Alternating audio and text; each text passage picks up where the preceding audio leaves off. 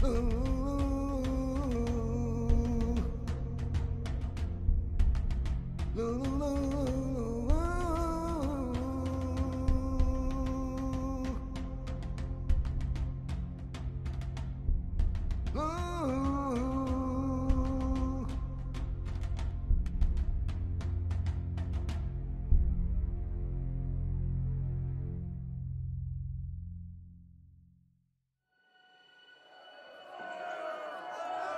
Today, an innocent man was tried.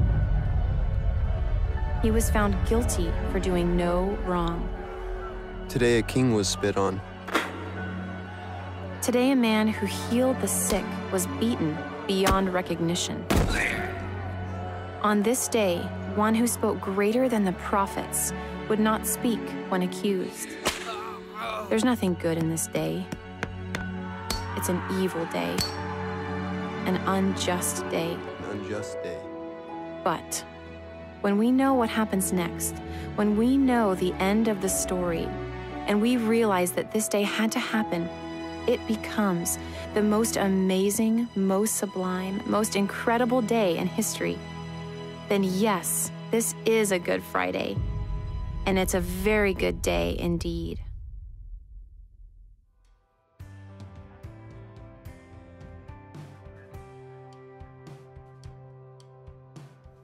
Good evening, church, and thank you so much for joining us for a special Good Friday evening service. I'm glad you tuned in with us this evening live. Well, hey, I got some special surprises for you guys. In just a moment, we're going to jump into a pre recorded worship time with my friend's church called Church of the Highlands down in Birmingham, Alabama. They did a pre recorded song called, called Resurrection, and I, it's going to bless your heart.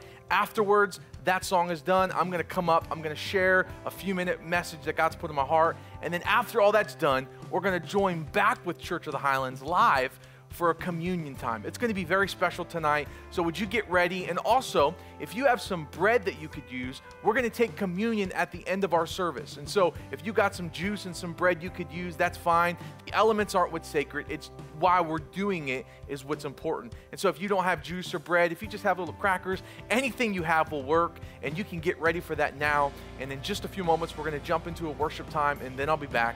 Thank you again for joining us. I pray this song blesses you.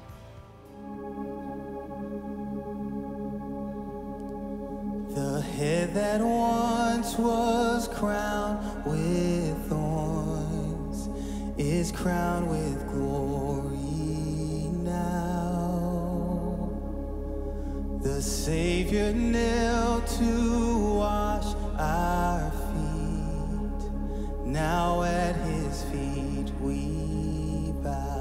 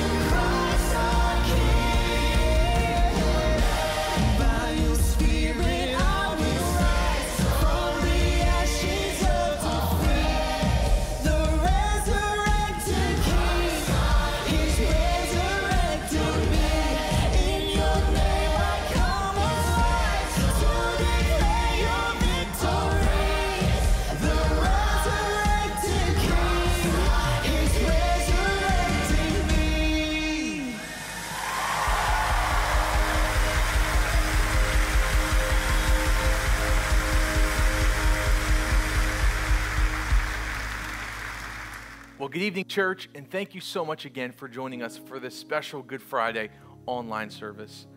Well, as you're joining us tonight, I know things look a little bit differently, but I just want to share a brief message that God's put in my heart for this Good Friday.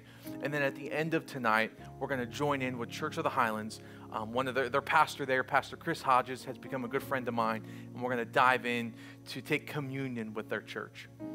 Well, as we're celebrating Good Friday, most people would say "Eh, this isn't much of a celebration, right? Because wasn't Good Friday really a, a time of, of great loss and great suffering? And it was. Let me tell you, there really wasn't much good that came out of Good Friday on the surface. There was a lot that came out of it, but it was after the fact. And so, picture with me just for a few moments, and then I'm going to read a, a few texts from John. Well, Good Friday came about because Jesus had to come to the earth to be our Savior, right? So, Jesus coming to earth, being our Savior, the initial steps were awesome healing the, the sick, raising the dead, the blind could see. I mean, the 12 disciples that was, that was his inner circle, they became an eyewitness of looking what Jesus came to do. But the fact of the matter, that was just a piece of what he came to do. The reality of what Jesus came to do came on a Good Friday night when he had his disciples in the Garden of Gethsemane and he was getting ready to undergo the greatest, most amount of suffering a human being could ever endure. I want to jump in for a moment to our text here in John. I want to encourage you on this Good Friday. You may say, How are you going to encourage me on this Good Friday? I want to encourage you that Jesus suffered and he died that we can have eternal life. That's the whole point of the gospel. And I pray tonight that you would see that and then join us on Sunday for our special Easter celebration. So let's dive in tonight to a quick text I just want to share, and then we're going to join in for communion. John 18, verse 1 through 11 says this After saying these things, Jesus crossed the Kidron Valley with his disciples and entered a grove of olive trees. Judas, the betrayer, so Judas was one of Jesus' disciples, but Judas ended up betraying Jesus, knew this place because Jesus had often gone there with his disciples. The leading priests and the Pharisees has, had given Jesus a contingent of Roman soldiers and temple guards accompanying him. Now, with blazing torches and lanterns and weapons, they arrived at the Olive Garden. Verse 4 Jesus fully realized all of this was going to happen. So he stepped forward. Picture this in the mount where they were coming to arrest and eventually kill Jesus. He steps forward from among his disciples because he knew they were coming for him. He stepped forward to meet them. Who are you looking for? Jesus asked. Verse 5 says, Jesus of Nazareth. They replied. And watch this. I am he, Jesus said. Judas, who betrayed him, was standing with them. As Jesus said, I am he. I, this is one of my favorite little verses in all the Bible. Watch this. When Jesus said, I'm he, all they all drew back and fell to the ground. Even in the moment of greatest suffering Jesus was about to endure, his word was powerful. When Jesus said, Hey, I'm Jesus, the whole company of guards, they fell down because his words had power. Think about that. That's, that always just reminds me that in the greatest moments of suffering and loss in my life, God's words are still powerful and active. And so, as Jesus said, I am He, they, they fell and they drew back to the ground. Verse 7 once more, He asked them, Who are you looking for? And again they replied, Jesus of Nazareth. I told you that I am He, Jesus said. And since I am the one you want, let these others go. He did this to fulfill his own statement I did not lose a single one of those you have given me. Verse 10 Then Simon Peter drew out a sword and slashed off one of the ears of the high priest's slaves. But Jesus said to Peter, Put your sword back into your sheath.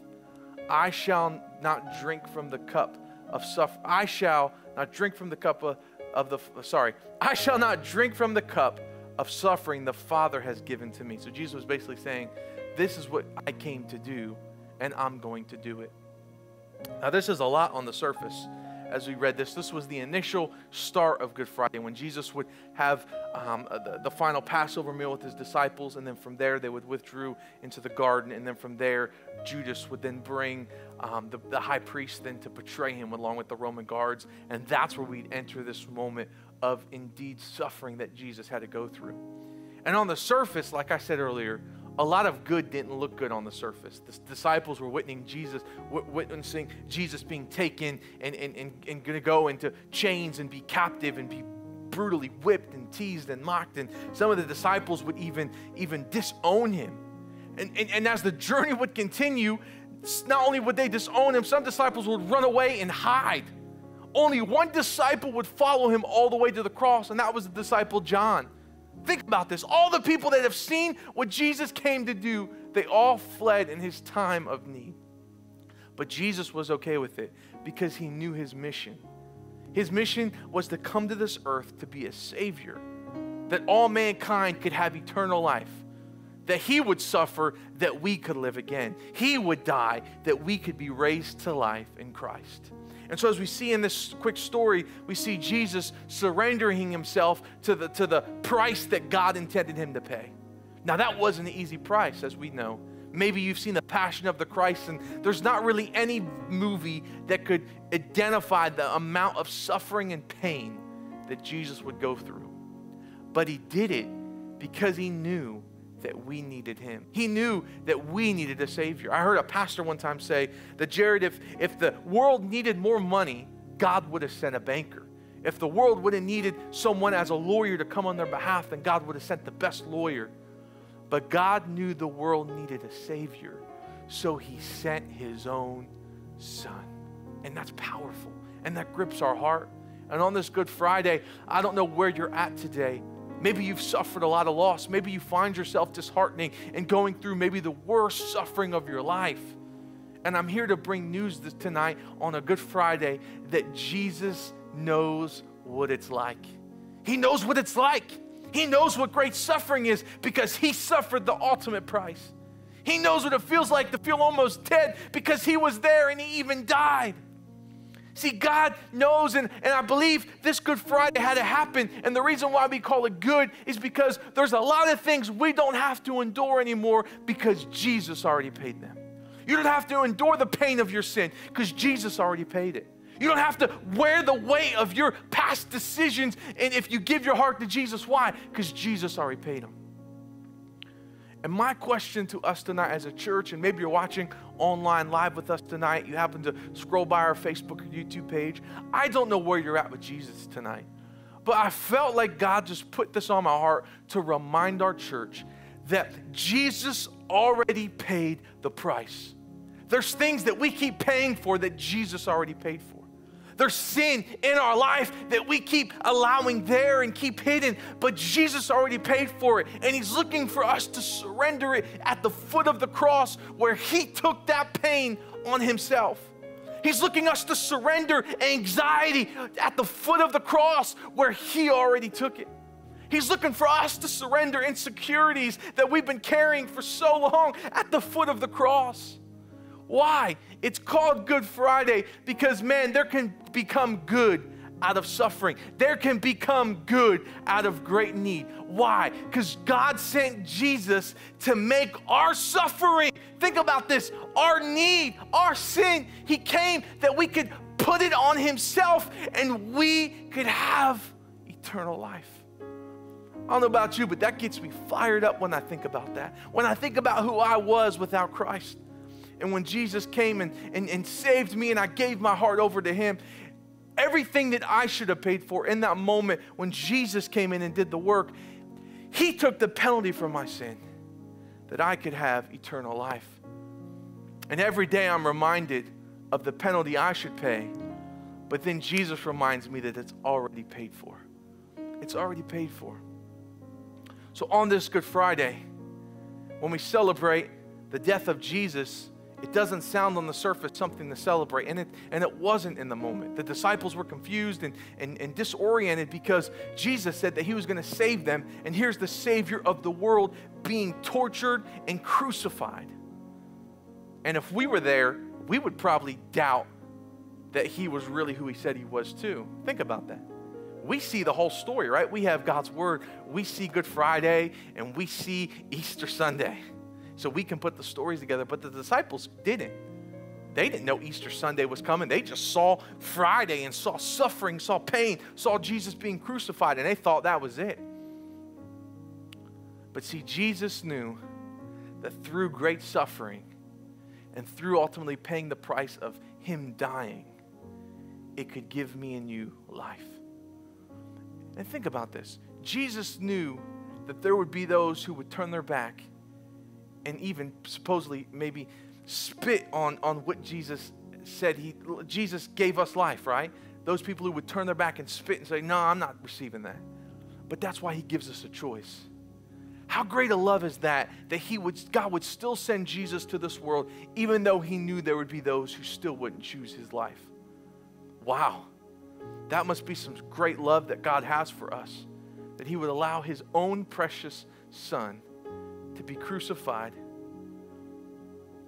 and to bear our sin that we can have eternal life, even though there would be those who would say no to that free gift. Because that's what it is it's a gift. And on this Good Friday, in just a moment, we're going to join Church of the Highlands and Pastor Chris Hodges to celebrate a time of communion, remembering what Jesus did, why his blood was shed, why his body was broken. That's why we celebrate communion, because of this Friday that Jesus endured. He was bruised and whipped and mocked and accused of things that we could have life. And I pray that would give our church a new perspective moving forward in this season. Even on this Good Friday, things look different. Things aren't the, aren't the normal way we would do things. But think about it that doesn't change why we're celebrating tonight. That Jesus came and suffered we don't have to suffer. He came and paid the price that we don't have to pay the price for our sins. Is there stuff tonight that you're paying for? There's decisions that you're paying for that God already paid for that you can surrender at the foot of the cross tonight. And in just one moment, when we jump in with Pastor Chris Hodges, I pray that would be the thing you would think about. I pray we think about as we're drinking the cup and taking the bread that Jesus paid a price that we can have life. Why keep on sinning? Why keep on living in a way when God has freedom in store for you and me? Why keep on living in bondage when there's freedom in store for those who will call on the name of Jesus? So here's what I'm going to do I'm going to pray for you right now, and then we're going to jump in with Pastor Chris Hodges and jump into the end of their service as they take communion. But let me pray for you. God, I pray right now for everyone watching online. God, I pray as they're listening to my voice, it would not be my voice, it would be your voice. Your Holy Spirit right now would begin to awaken them to the reality that on this evening of Good Friday, that God, there's resurrection power in store. Though we can't see it right now, though we maybe don't even feel it, it's, it's here. And all we have to do is say yes to Jesus. All we have to do is lean into the reality that yes, there was a suffering that had to be paid, but Sunday was coming and the resurrection power is available to us today. And I pray tonight, if people are continually paying the price for their decisions, would they just acknowledge you, oh God, or even right now? Someone watching right now that keeps paying the price for their sin, they would just surrender that habit, surrender that desire to you, and just throw up their hands and say, God, I fully surrender my life to you because you suffered so I could have life. You paid the penalty so that I can be forgiven and made whole. God, I thank you tonight for our time together. And I thank you for everyone watching online right now that you begin to meet them right where they're at. This would be a time of reflection and a time of surrender because you've paid the price that we can have life, eternal life. And we love you. In Jesus' name. And all God's people say, Amen and amen. Well, I want to thank you again for joining us online live tonight. Don't forget Easter Sunday. We're going to be having a special Easter Sunday. Join us. Please share it. Let's get comments out. Let's invite people. Let's be a great witness for this Easter Sunday. So we're about to jump in right now to the end of Church of the Highlands message, jumping in for communion. Pastor Chris Hodges is going to take it from here. God bless you guys. Have a great evening. Uh, we're going to take a moment here and receive communion together. And I wanted to read a couple of verses to you and lead you uh, in this moment. I don't know if you know this or not, but the origins of communion, the Lord's Supper, we call it, uh, goes back to the night before Jesus would go to the cross. It was Passover that Thursday night, and Jesus and his disciples were celebrating Passover, and, and they had this meal together, and now it has become a custom in churches, considered a sacrament, something that churches do is holy before the Lord. The Bible never tells us how often we should take communion or receive communion, but it says as often as you do it, it the goal is to remember. And what are we remembering? We're remembering its origins. We're remembering the blood of Jesus on the cross. We're remembering what Jesus did for us. And if you're not familiar with the Jewish Passover that Jesus and his disciples were celebrating, uh, you would need to know that this was a festival that, the, that God instituted to be done to remember the Israelites coming out of Egypt. Most of you have seen the movie The Ten Commandments, or you've seen some version of this story how God brought the children of Israel out of Egypt. And this was this happened as a result of 10 plagues that happened in Egypt, the last of which uh, was a death angel, where the firstborn of every family would die. It was a plague. And God gave instructions uh, to the children of Israel to put blood on the doorposts and on the sides of the door. And if I see the blood, I will pass over you. That's where the word Passover comes from. This is, this is the roots of what we celebrate as we go to the table of the Lord. And I wanted to read this verse out of Exodus chapter 12, verse 13. It says this But the blood on your doorposts will serve as a sign marking your house where you are staying. And when I see the blood, I will pass over you. The plague of death will not touch you when I strike the land of Egypt. He said, Chris, that was in the Old Testament. That was the book of Exodus. Well, the New Testament says in 1 Corinthians chapter 5, verse 7, For Christ is our Passover lamb, and he has been sacrificed. In other words, we don't have to put real blood on the door anymore, and there's no more sacrificing of lambs. Jesus paid for it once and for all. And that's what this communion represents. It represents us saying, The blood of Jesus is over my house. The blood is over the doorposts of my house. And there'll be no death in my house, there'll be no plague in my house in Jesus' name. And as we partake today, I want us to remind ourselves of that and to proclaim it that the blood of Jesus is over my house. And can I say it this way? The blood of Jesus is over the house of Church of the Highlands and every church that's joining us right now. The plague passes over us. 1 Corinthians 11, verse 26 says this For whenever you eat this bread and drink this cup, you're making a proclamation. You proclaim the Lord's death until he comes back. You're saying, I believe. I believe. I believe God is protecting me. I want you to know this God's protecting you and he loves you. And if you're prepared to receive, I would like to ask uh, you, every person to get a little piece of bread or a cracker or whatever you have. I have just a simple piece of bread. By the way, the elements themselves are not holy. This is a symbol. This is a this is just something we do in the natural to remind ourselves of something that happened in the spiritual. This is a simple piece of bread that we bought from the store and but it has a representation of the body of the Lord. And Jesus took bread. 1 Corinthians 11 says he took bread and he blessed it and he broke it. And he says, This bread represents my body, which is broken for you.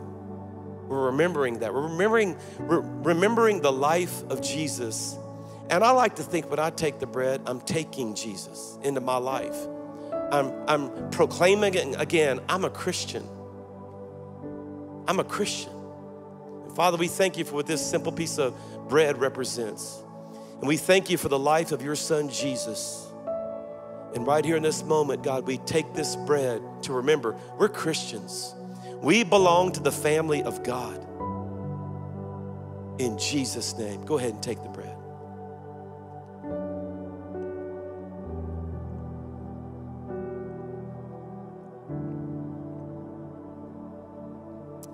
And then we have this cup. This is just a, a, a tea glass from the kitchen here at the church. And there's just some simple grape juice in here. And I hope you're prepared with some as well. But this juice, again, there's nothing holy about the juice itself.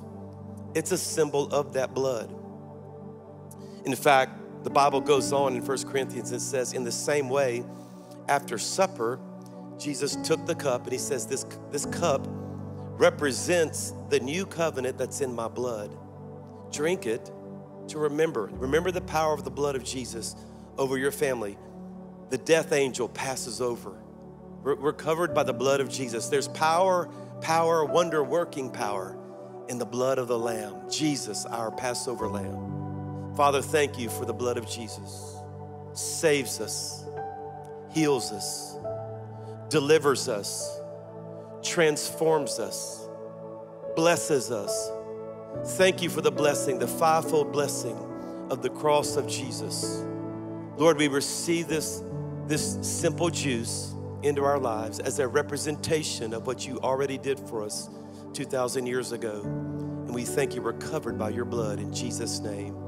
Amen. Go ahead and take a sip of the juice.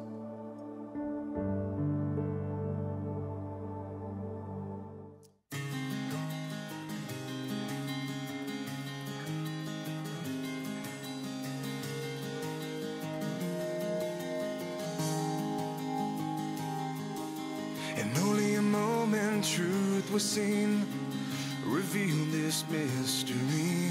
The crown that showed no dignity he wore.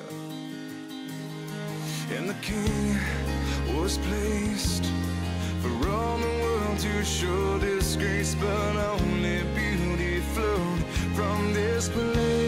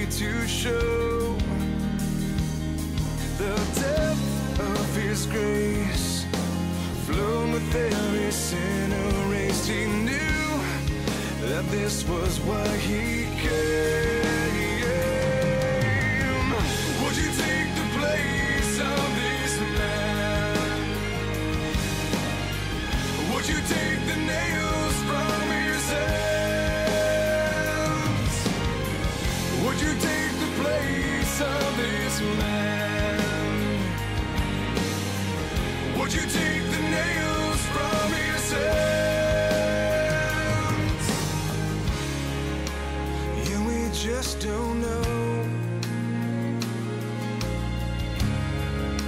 The blood and water flow.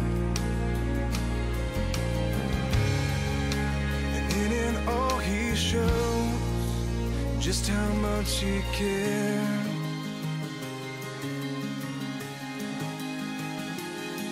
And the veil was torn So we could have this open door and all these things have finally been complete.